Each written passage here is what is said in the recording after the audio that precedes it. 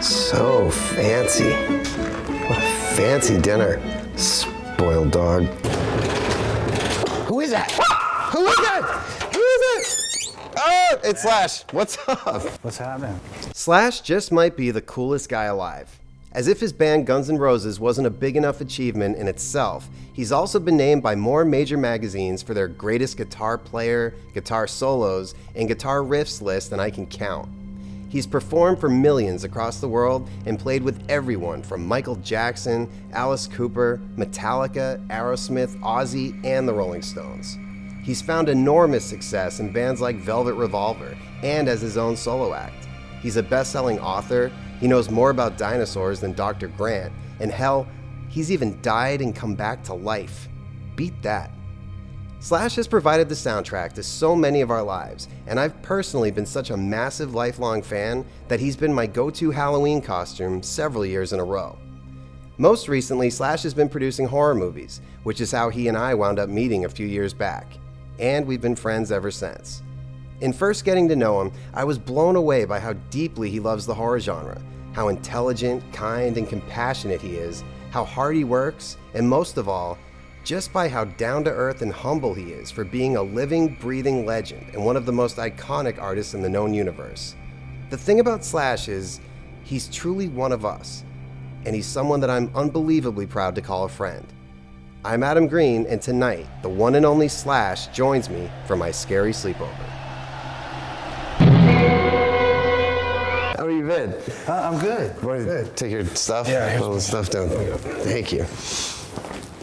So did you you just got back off the road? What like recently, right? A week ago. A week ago? Yeah, a week ago, less than a week ago. And you were in India last? India and, and Eastern Europe, Russia, and Czechoslovakia, you know, Poland, all that. I mean, you're used to it at this point. But when you go to a place like that and they know all the words to a language that they don't really even speak, Yeah. what is that like? It was it was pretty massive in India because it was the first time that we'd ever been there, and uh, they sang all the lyrics to every song, and it was it was pretty overwhelming. And then some footage came out online, and they were singing "Sweet Child o' Mine," and someone had shot it from one of the buildings outside the venue, you know, from up above. Oh, wow. And it was really pretty moving. you know.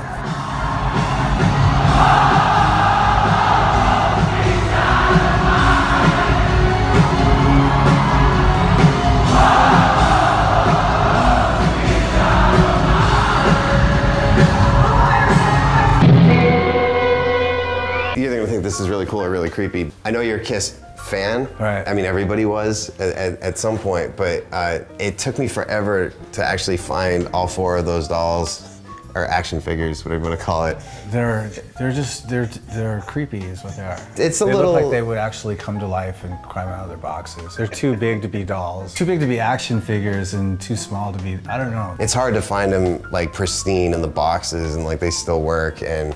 What do they do? Uh, well, you press the button and they, they play songs. It's also kind of uh, women repellent in a weird way. Because like- you still have them in the boxes for one, yeah. which always freaks girls out. It's like, why would you have something? Do you keep any stuff in the boxes? I do actually. there you go. Well, between those and the ET dolls, um, I will pretty much never uh, date again. well, So- no, no. There's someone out there for you too.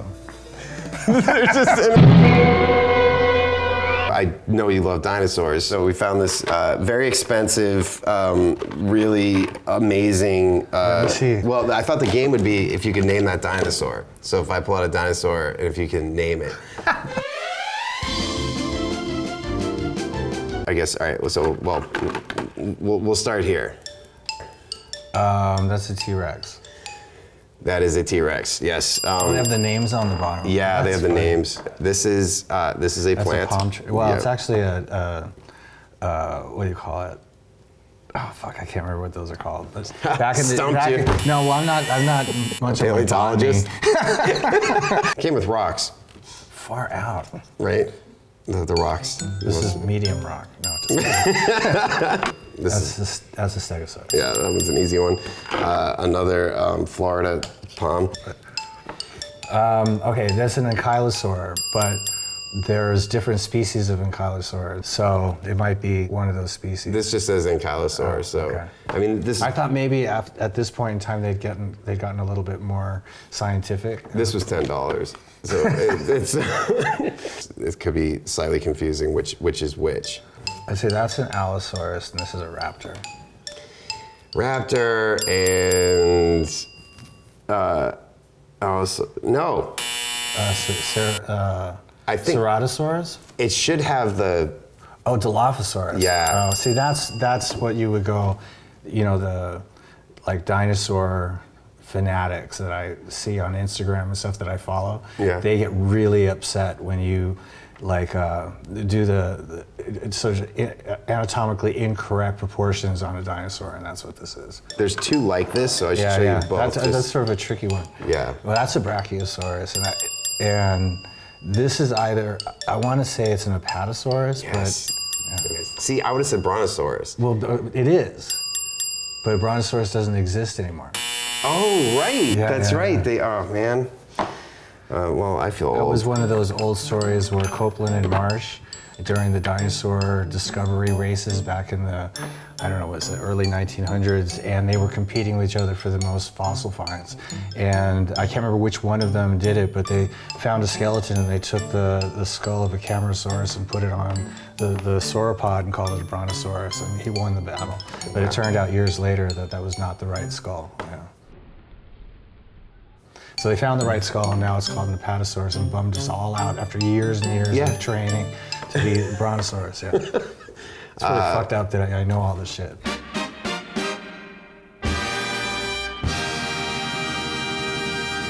But did you ever think about getting into like archaeology or anything? No, no, I just had this this passion for dinosaurs that, as a kid, and so I just sort of it never went away. But I didn't want to make a career out of it. It's just sort of like one of those things that interests you. It's almost what you consider a hobby. Right. But you know, I mean, I go to museums and I meet with uh, paleontologists all the time, and get to go sort of behind the scenes at different museums and look at their collections and so on and so forth. Do you feel like that's maybe what started to lead to your love of like monsters and, and horror? Was It- I think there's something that you know you're just innately born with because it was always like you know snakes and tarantulas and lizards and all that kind of stuff when I was really really little, and so that just falls into both categories, sort of like dinosaurs and monsters, because dinosaurs are fucking big and they're all so it's all relative, and it just has always been that way. I can't remember being suddenly inspired to like that stuff. It just seemed to go with the territory. if Jurassic Park existed, if tomorrow they announced it, is there a price that would be too much to go? In, in your Oh, to actually go? and really see. I mean, more than I could pay, I guess. Yeah, I, I give would pretty much give everything I had. I'd sell my house. I did whatever I had to do. Just, I mean, I can't. I'd make phone calls, see how I could get in. Right. well, I guess you could do that. Or we could just sit together and scheme up a way to sneak in, become, sneak in. become that casualty that they make a, a movie about. And then the fences based on a true story. Right. so this, I get to join the pretty long list of people that have been in here and signed this wall. So, shit.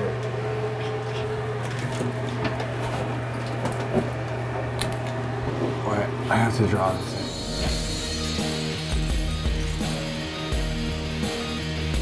Wow. That was awesome. Nice job. That's Alright. really great. Thanks. Cool. Actually, can I take a piss? I'm out of here. You can't have this because there's chocolate in it. All right. You what? Hi. No, well. Those your no, pajamas? I, oh, I, I couldn't have competed with that. no, I mean, I have to be totally honest. I mean, I play along and everything with the pajama kind of thing, but I don't really own any pajamas. And, you know, I travel all the time. And this is basically, I just sleep in my clothes. or I don't wear any clothes at all if I'm fortunate enough to be in a hotel. So, I bought so many bad pajamas just for shooting this series because like I try to not repeat them too often, but I have like a Darth Vader onesie. I like I mean shit that I'll probably never wear again. I you know I'm, fuck it. I won't lie. I wear it all the time. it's, it's really comfortable. I brought my guitar because I like to have a, a guitar with me at all times. So after shows or on days off or whatever, or even on the bus, I just have a guitar that I always have with me that just stays on my person all the time. So it never it never gets old for you. You're never like especially after a tour. You're never like, you know what? I don't want to pick up a guitar for like a week. Like, I'm, No, isn't that fucking bitching? That's I mean, awesome. all things considered, I mean, I have to to be really thankful for um, the fact that I I love what I do to the point where yeah, I'm just so immersed in it all the time that it doesn't get old for me.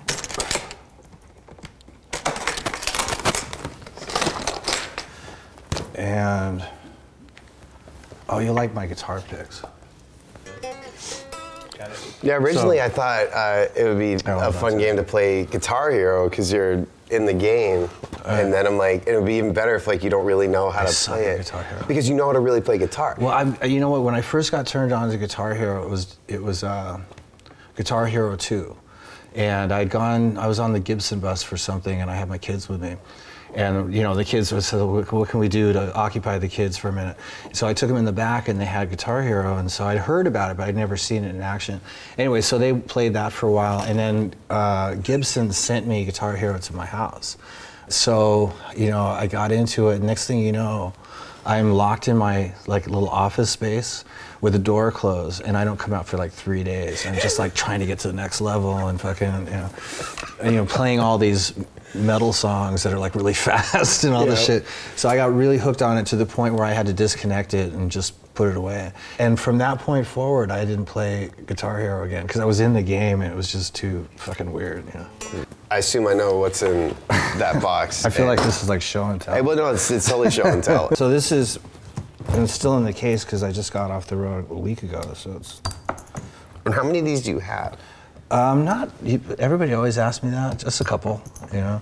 Um, People I, must be trying to steal that left and right. I've had Like, it stolen. Well, this one I haven't had stolen, but I've had the one. I used to have one that was encased in leather, and I had that for the longest time. But before it had leather on it, it was just a canvas hat like this, and it, it got stolen a couple times.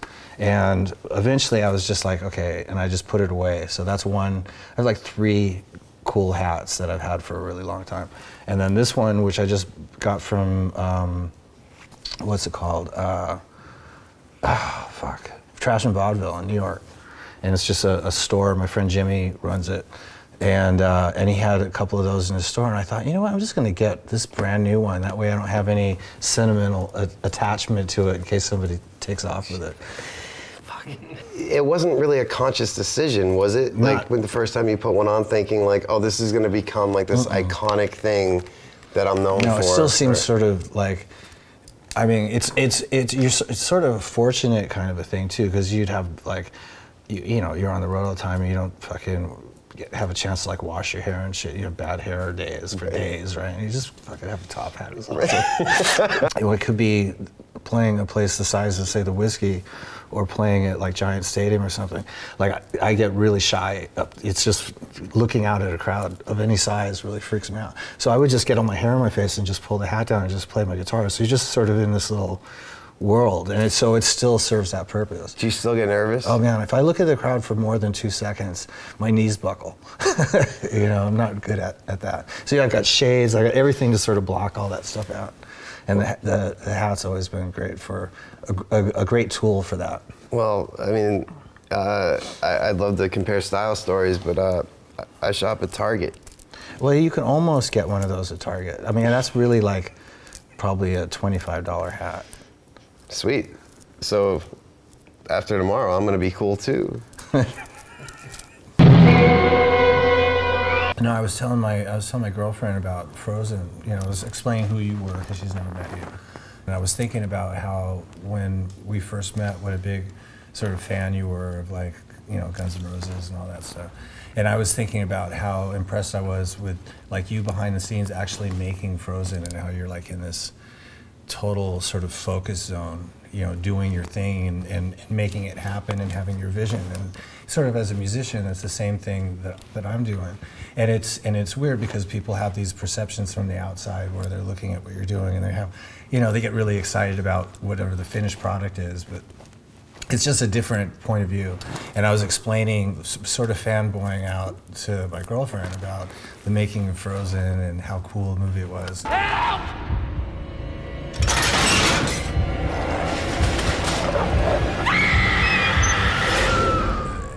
he falls, he, jumps like an idiot, and he breaks his legs, and he gets eaten by coyotes, and they're like, now what the fuck are we gonna do? it's fascinating to me. What What are you really scared of? Like, what actually scares you in real life? Public speaking, Really? getting in front of a, a crowd and having to go up and, and address them. That's why I could never be a, a fucking singer. As many bands as I've been in, and as much as I've worked with singers, it blows my mind to see, or, or acting for that matter, to be able to go up there and take your, your inner, uh, deepest, innermost thoughts, put them down on paper, and then go and, and address an audience and sing those feelings to them. The, the thing about a guitar is it's it's uh, a connection between you and the instrument. It's a piece of wood, and you sort of absorbed in that.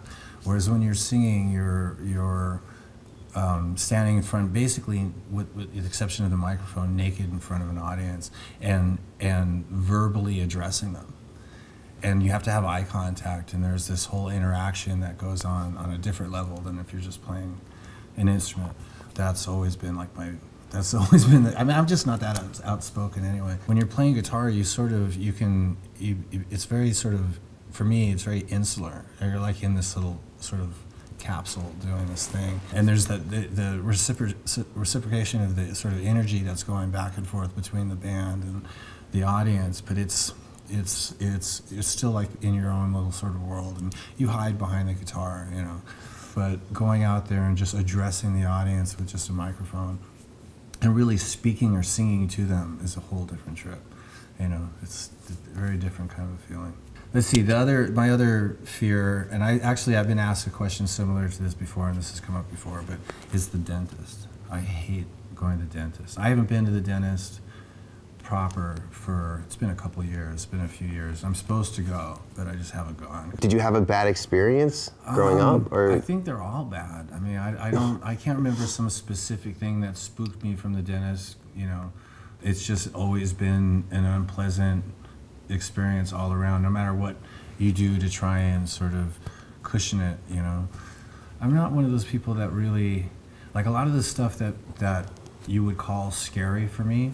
Like you know, like scary stuff, like weird shit going on, bad dreams, um, hallucinating for some, whatever. Yeah, all that stuff always used to, like The Exorcist, always used to turn me on. I always think, like, want to play it out, see what was going to happen. So you're laughing at The Exorcist, but then when the Crest commercials would come on, or Colgate with the cavity creeps, you were like, "Get the fuck away from me, man!" Like, the, yeah. Wow. Someone sent me a we make holes in teeth. We. You're right. That's your biggest fear. We make holes in teeth. Cresty, look! Crest team, the cavity creeps are coming!